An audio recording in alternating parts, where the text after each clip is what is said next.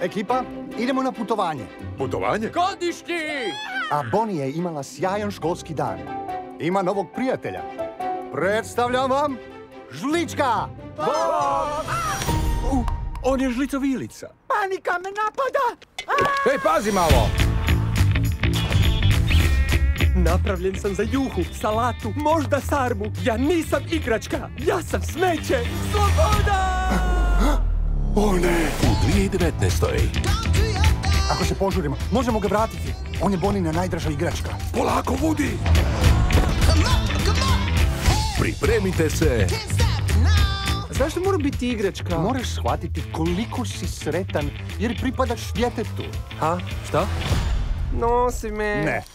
za putovanje. Idemo! A pravcu, kako da pronađem Woodija? Manevar pračke. Hvala, unutarnji glasu. U beskraj i onkraj.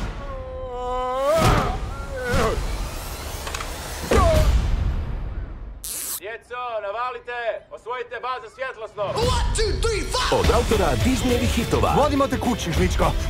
Ne idete vi nikamo. Budi pazi leđa!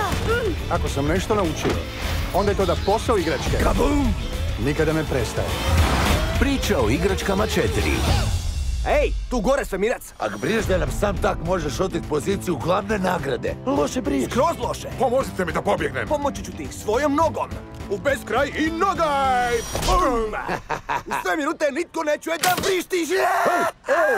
Puštaj! Uskoro u kinima.